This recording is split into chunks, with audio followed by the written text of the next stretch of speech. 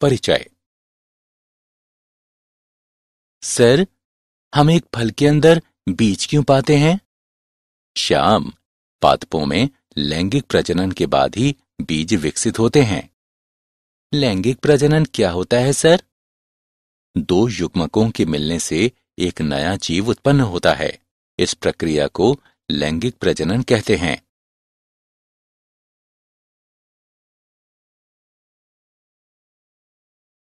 Sir, पादप का कौन सा भाग लैंगिक प्रजनन में हिस्सा लेता है? बेटा, पुष्प पादपों के लैंगिक अंग होते हैं, इसलिए ये लैंगिक प्रजनन में हिस्सा लेते हैं। ये सुंदर पुष्प फल और बीज के रूप में कैसे प्रजनन करते हैं? ठीक है, आओ, हम पुष्पीय पादपों में लैंगिक प्रजनन के बारे में विस्तार से जानते हैं।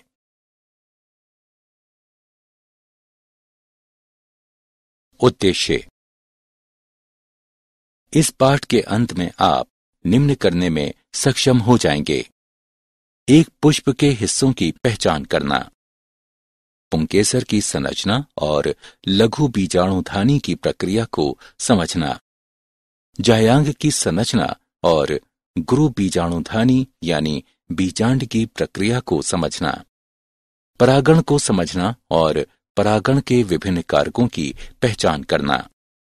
निषेचन के प्रकारों को समझना। भ्रूण पोष, भ्रूण, बीज और फल के विकास को समझना।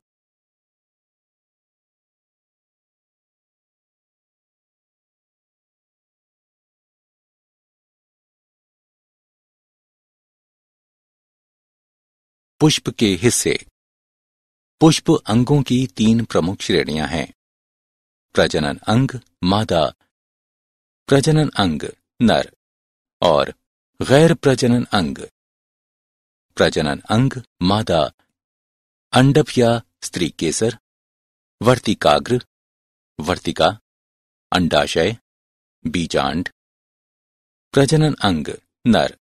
पुंकेसर पराकोश डंठल तंतु, यानी फिलामेंट, पराग।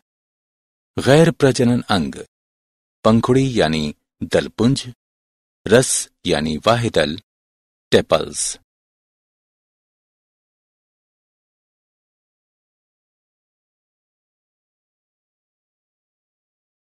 निषेचन पूर्व घटनाएँ। पुष्पी पादपों में लैंगिक प्रजनन में निषेचन से पूर्व निम्न घटनाएँ होती हैं। लघु बीजाणुधानी और पराग का विकास। गुरु बीजाणु धानी एवं मादा युग्मकोद्भिद का विकास।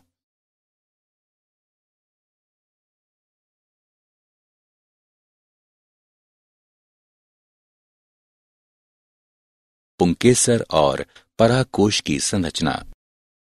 पुंकेसर की संरचना। पुंकेसर में लंबा एवं पतला डंठल तंतु, यानी फिलामेंट, तथा द्विपालिक संरचना पराकोश होती है। पराकोश की संरचना। द्विपालित पराकोश दो कोष्ठ होते हैं। पराकोश में चार विवर या लघु बीजाणुधानी होते हैं, जो परागपुटी यानी पोलन सेक्स के रूप में विकसित होते हैं।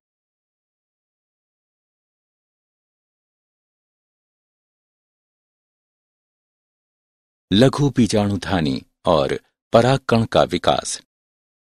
लघु बीजाणुधानी परागकोश में प्रत्येक द्विगुणित मातृ कोशिका अर्धसूत्री विभाजन द्वारा चार अगुणित लघु बीजाणु या लघु बीजाणु चतुष्क का निर्माण करती है।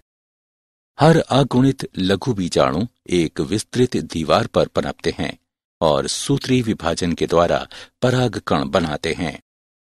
पराग कण नर युग्म कोद्भिद का प्रतिनिधित्व करता है। इसमें दो सतही भित्ति होती हैं बाह्यचोल और अंतःचोल।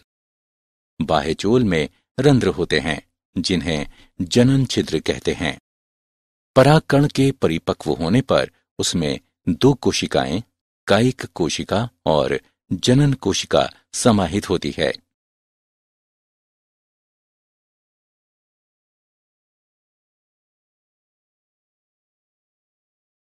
जायांग और बीजांड की संरचना।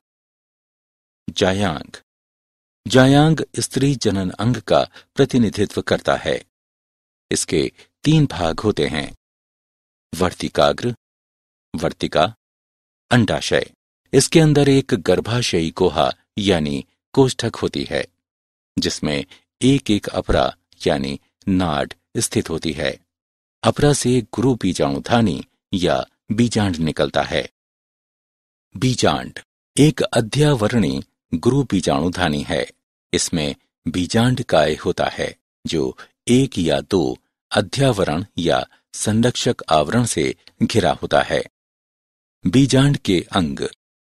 बीजांड वृंत, हाइलम यानी फेनिकल संधि रेखा यानी रेफ, बीजांड काय, भ्रूण कोश, अध्यावरण यानी एंटीजूमेंट्स बीजांड द्वार यानी माइक्रोपाइल, और निभाग, यानी कैल्चा।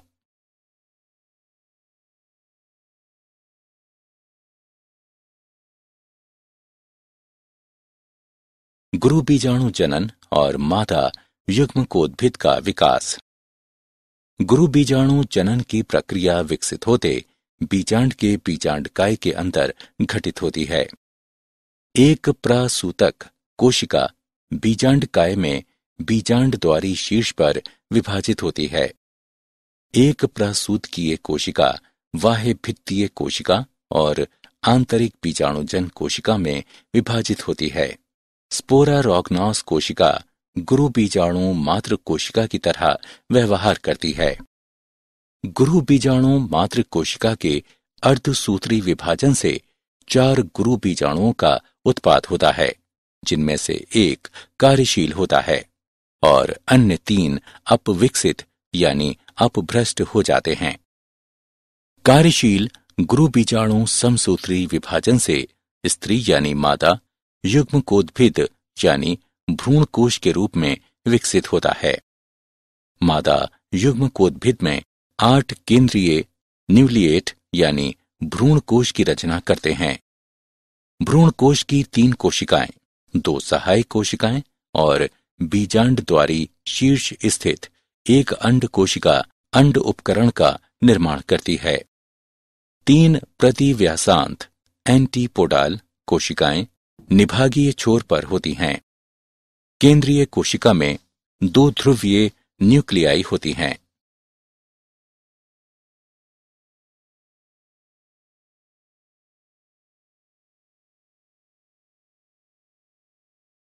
परागण।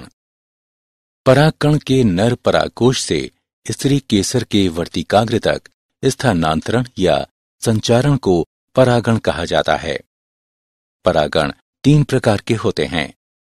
स्वयुग्मन यानी ऑटोगेमी, एक ही उसी पुष्प में परागकोश से वर्तिकाग्र तक परागकणों का स्थानांतरण है।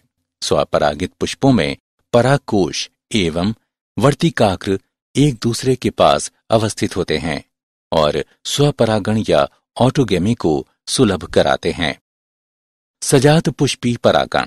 एक ही पादप के एक पुष्प के परागकणों का दूसरे पुष्प के वर्तिकाग्रों तक का स्थानांतरण होता है। पर निषेचन। इसमें भिन्न पादपों के परागकोश से भिन्न पादपों के वर्तिकाग्र तक परागकणों का स्थानांतरण होता है।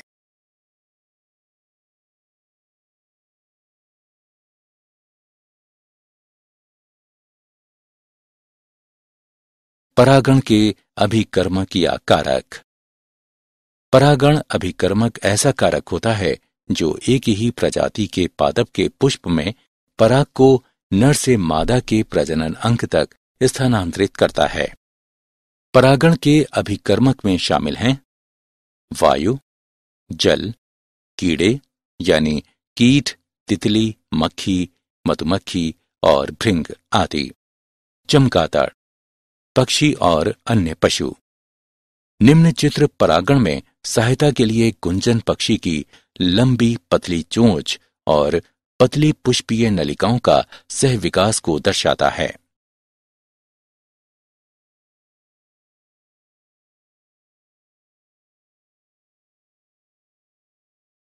पराग, स्त्री केसर संकर्षण, यानी पारस्परिक क्रिया। सुयोग्य परागण द्वारा पराग कण किसी जनन छिद्र के माध्यम से एक पराग नलिका उत्पन्न करने हेतु वर्ती काग्र पर अंकुरित होते हैं। परागकण के तत्व अंडाशय में स्थित बीजाणु, बीजांड द्वारी शीर्ष तक पहुँचने के लिए पराग नलिका के माध्यम से गमन करते हैं। इसके पश्चात पराग नलिका तंतु रूप समुच्च के माध्यम से एक सहाय कोशिका में प्रवेश करती है।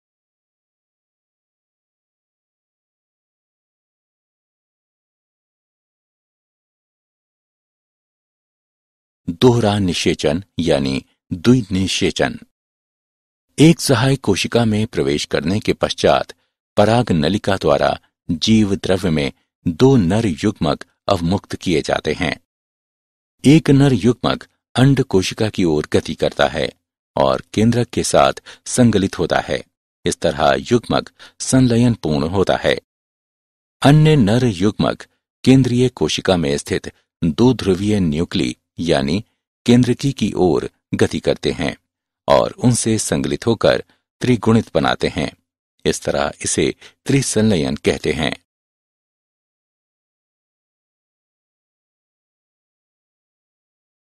निषेचन पश्च घटनाएँ निषेचन पश्च घटनाओं में शामिल है। भ्रूण पोष का विकास। भ्रूण का विकास। बीजांड बीज के रूप में और अंडाशय फल के रूप में विकसित होना। भ्रूणपोष कोशिका बार बार विभाजित होती है, तथा एक त्रिगुणित भ्रूणपोष ऊतक की रचना करती है। इन ऊतकों की कोशिकाएँ संरक्षित खाद्य सामग्री से पूरित होती हैं, और विकासशील भ्रूण की पोषकता के लिए उपयोग की जाती हैं।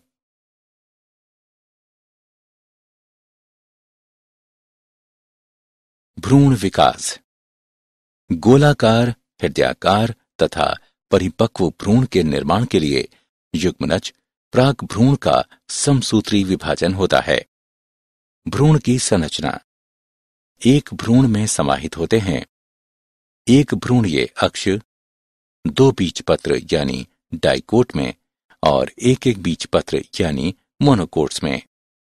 बीज पत्र के स्तर के ऊपर भ्रणीय अक्ष की प्रोटीन यानी एपिकाटील बीज पत्रोपत्रिक होती है, जो प्रांकुर या स्तंभ सिरे पर प्राय समाप्त होती है। बीज पत्राधार में बीज पत्रों के स्तर से नीचे बेलनाकार प्रोटीन, जो कि मूलांत सिरा या मूलज के शीर्षांत पर समाप्त होती है।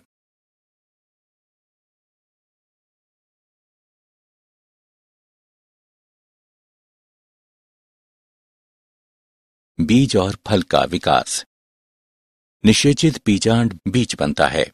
अध्यावरण बीज का आवरण बन जाता है, जिसे बीज चोल कहते हैं। परिपक्व बीज दो प्रकार के हो सकते हैं। एल्बुमिनियस और गैर एल्बुमिनियस। फल एक परिपक्व अंडाशय होता है, जिसके अंदर बीज होते हैं। अंडाशय की दीवार फल की दीवार यानी छिलके के रूप में पतल जाती है, जिसे फल भित्ति कहते हैं। मांसल फल के फलभित्ति में शामिल है। अंता फलभित्ति यानी बीज के चारों ओर। मध्य फलभित्ति यानी मांसल भाग। वाहे फलभित्ति यानी त्वचा। क्या आप जानते हैं? परागकणों को शर्करिक विलियन विलियन की सांद्रता दो प्रतिशत से बीस प्रतिशत के बीच में डालकर पराग नलिका के उत्पादन को कृत्रिम तरीके से उत्प्रेरित किया जा सकता है।